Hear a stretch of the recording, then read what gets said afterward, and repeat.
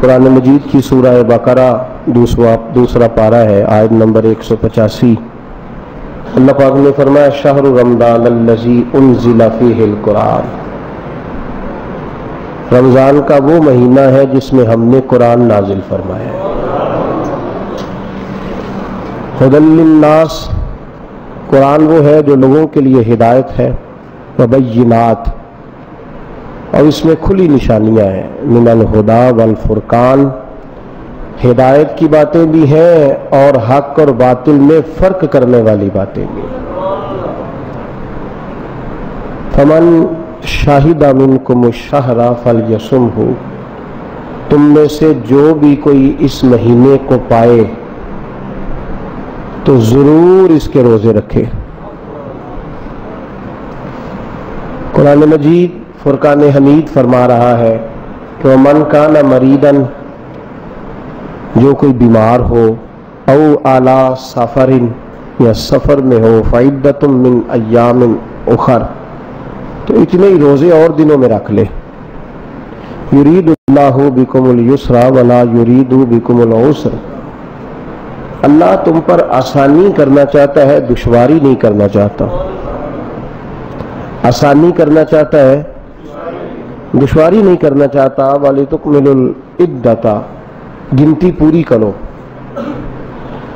والی تکبر اللہ اور اللہ کی بڑائی بیان کرو۔ اعلیٰ ما ہداکم، اس پر کہ اس نے تمہیں ہدایت دی والا اللہ کم تشکرون، اور اس امید پر کہ تم شکر گزار بندے بن جاؤ۔ اللہ فرماتے قرآن قرآن مجید میں ہدایت بھی ہے، قرآن مجید کے اندر حق اور باطل میں فرق کرنے کی قوت بھی ہے۔ قرآن مجید کے اندر روشن نشانیاں بھی ہیں۔ تمہارے پیدا ہونے سے لے کر انتقال کرنے تک ہر چیز قرآن مجید میں ہے اور قرآن مجید رمضان المبارک میں۔ ہے ہر شے قرآن پاک میں ہر قرآن پاک رمضان میں۔ یہ آیتیں پہلے بھی ہم پڑھتے ہیں، سنتے ہیں۔ دو جملوں پہ میرا دل بڑا لگ گیا، اتنی عظمت ہے قرآن مجید کی، اتنی شان ہے رمضان المبارک کی، اتنا مقام اللہ نے رمضان کو دیا ہے۔ ان دو جملوں کو ذرا دیکھیے گا۔ فرمایا، قرآن ہم نے رمضان میں نازل کیا ہے اور اس میں ہدایت بھی ہے، روشن نشانیاں بھی ہیں۔ حق و باطل میں فرق کرنے کی تمہاری نور بصیرت بھی قرآن میں ہے۔ فرمایا، ذرا ذرا قرآن مجید کے جملوں پہ غور فرمائیے گا۔ فرمایا، فمن شاہدہ منکم الشہر تم میں سے جو کوئی وہ مہینہ پا لے نا، انداز دیکھیے رب کریم کا گفتگو کا۔ فرمایا، تم میں سے کسی کی زندگی آ جائے نا۔ اللہ فمن شاہدہ۔ اگر وہ ہو اس وقت جب رمضان بھی ہو، اگر اسے مل جائے رمضان، اگر رمضان ہے گویا جس چیز کی بڑی اہمیت ہوتی ہے نا کہ یار اگر وہ تجھے کبھی مل جائے، اگر کبھی، فمن شاہدہ من کو مشار اگر کبھی تمہیں رمضان اور تم موجود ہو، تمہاری سانسیں چل رہی ہوں، آنکھیں دیکھ رہی ہوں، کان سن رہے ہو دل دھڑک رہا ہو، اگر تمہیں کبھی رمضان مل جائے، فل یسم ہو تو روزے ضرور رکھ لینا۔ اگر تمہیں اگر تمہیں کبھی کون فرما رہا ہے؟ سبحان اللہ، انداز دیکھیے بھئی اگر تمہیں کبھی رمضان ملے تو روزے اگر کبھی تمہیں ملے، میرے نبی پاک صلی اللہ علیہ وسلم اچھا یہ آیت اور یہ حدیث انداز دیکھیے۔ حضور فرماتے ہیں، اگر تمہیں پتہ چل جائے کہ رمضان میں برکت کتنی ہے۔ یا رسول اللہ اپنے درجنوں حدیثیں بیان فرمائی ہیں، قرآن مجید میں آیتیں ہیں، اقوالے سے آبا ہیں۔ اس کے باوجود سارا کچھ بیان کر کے نا حضور نے یہ بھی فرمایا رمضان میں نفل پڑھو گے تو فرض کے برابر ثواب ملے گا۔ فرض پڑھو گے تو ستر گنا ثواب دے گا اللہ پاک۔ ساری عظمتیں بیان کر دی اور پھر فرمایا اگر تمہیں پتہ چل جائے رمضان میں ہے کیا؟ اللہ فرماتا ہے فمان شاہدہ منکم شہر اگر تمہیں رمضان مل جائے، حضور فرماتے ہیں اگر تمہیں پتہ اللہ فرماتا ہے اگر تمہیں رمضان حضور فرماتے ہیں اگر تمہیں پتہ حضور کیا ہو؟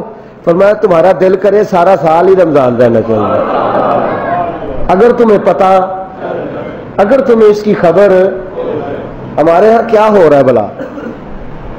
روز اخبار والے لکھ رہے سولہ گھنٹے کا روزہ ہوگا۔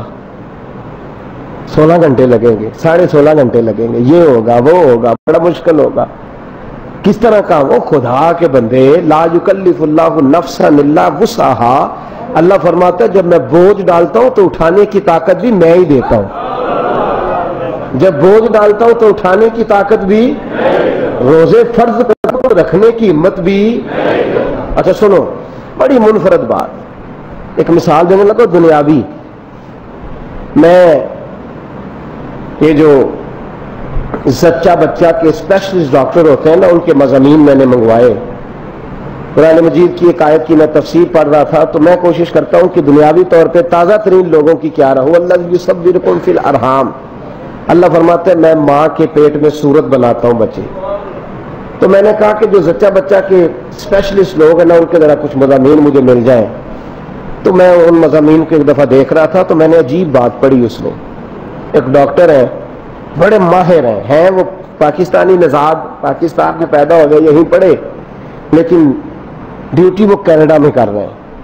انہوں نے لکھا ہے کہ کہتے ہیں کہ عجیب حکمت خدا بندی ہے کہ جب ماں کے پیٹ میں اللہ ایک بچہ پیدا کرتا ہے نا، تو اس کے سینے میں جو دودھ پیدا کرتا ہے، وہ ایک بچے کے لیے کافی ہوتا ہے۔ جب بچہ، اور اگر بچے جڑوا ہوتے ہیں، تو اللہ دودھ بھی ڈبل ہی عطا فرماتا ہے۔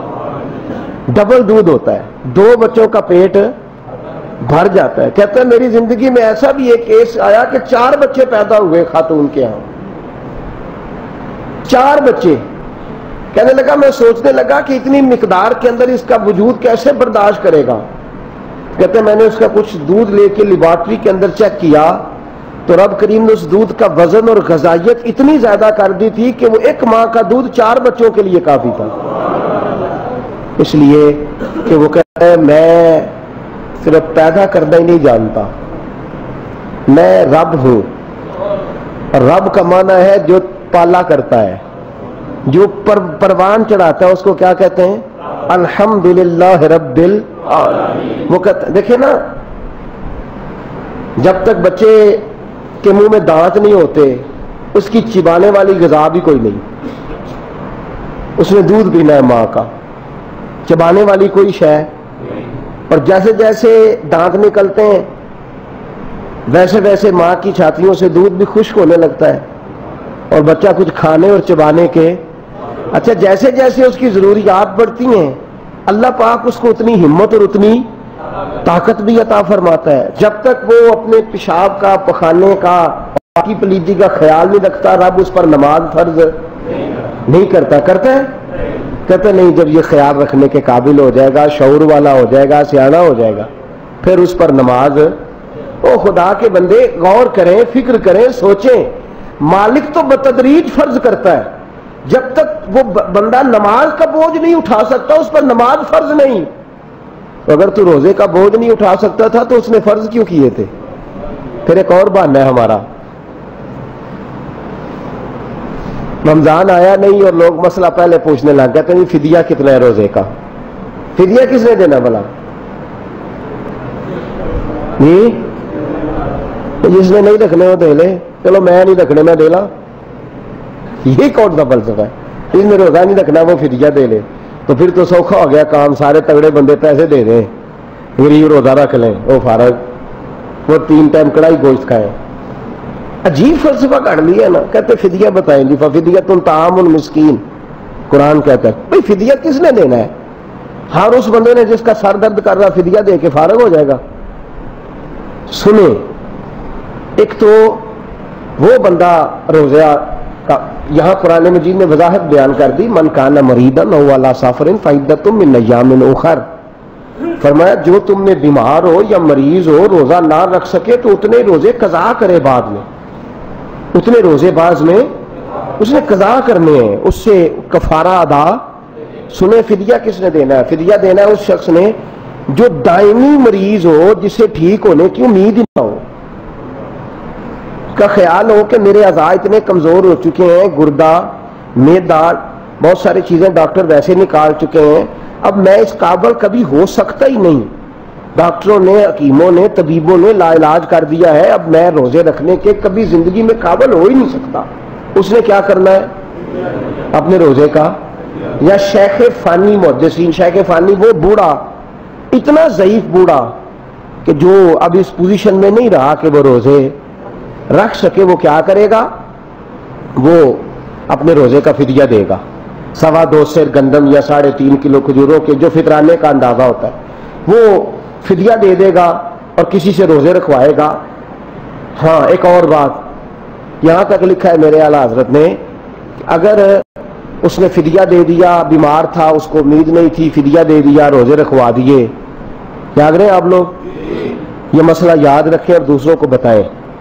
فدیہ اس نے دے دیا، وہ بیمار تھا، کمزور تھا، طبیعت ٹھیک نہیں تھی، اس کو امید بھی نہیں تھی، ٹھیک ہونے اس نے فدیہ دے دیا۔ اللہ نے رحمت کر دی، بعد میں تندرست ہو گیا۔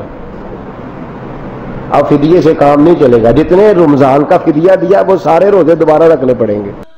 الصلاة